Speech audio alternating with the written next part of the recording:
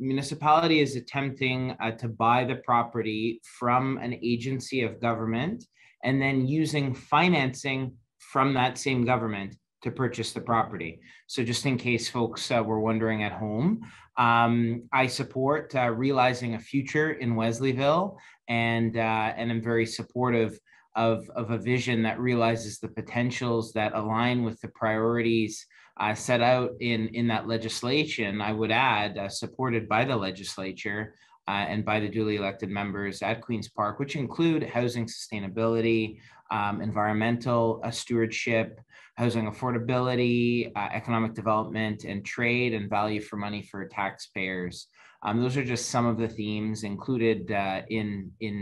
in the center of realty excellence. And uh, we don't have a clear and critical path on any of them um, as, as, uh, as the deal currently stands.